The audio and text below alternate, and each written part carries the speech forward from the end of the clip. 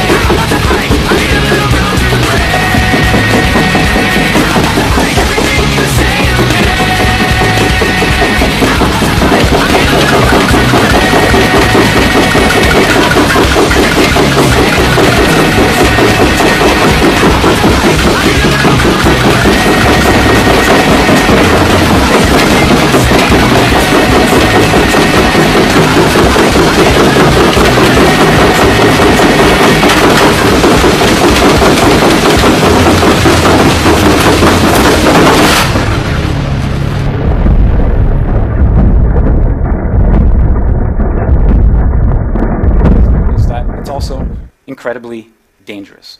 Okay? We're creating some pretty powerful stuff here. And it should be clear that it can, that it can be misused and it can be abused. Okay? The things that you could do with these types of machines is, is a little bit terrifying.